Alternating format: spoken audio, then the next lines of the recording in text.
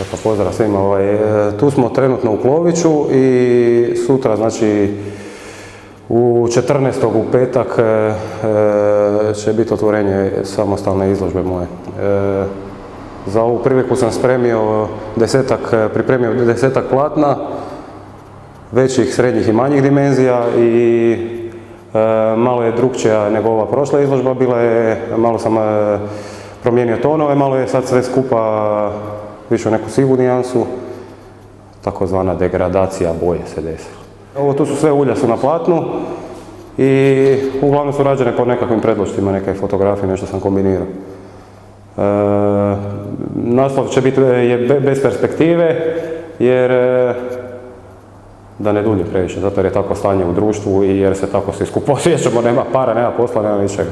Pa eto, bez perspektive pa nam možda bude bolje. Pa sadržaji su ovdje, ne treba mislim previše e, komentirati ovo, tu je e, pripadnice sjeverno-koreanske vojske, tu nisam dodao još neke imaju ovako vezice.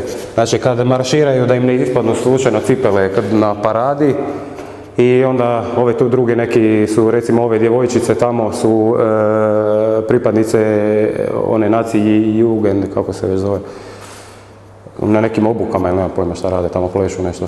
Onda ovo tu je isto odlazak, 70-ih e, e, su odlazili u Trst, svi znamo, svi se sjećamo Ponte Rosa, pa eto nekakav e, uspoređivanje sa starim vremenima, koliko je bilo tada posla, koliko ima sada posla, šta se dešava, di, di to sve skupa ide.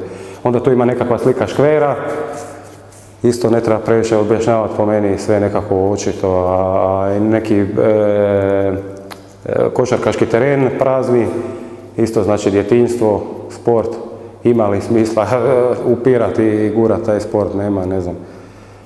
I onda još neke druge samo slike. Izložba će biti 13.3.2014. u Kloviću, otvaranje je u 7 na večer. E, nakon toga mi je zadovoljstvo isto pozvati da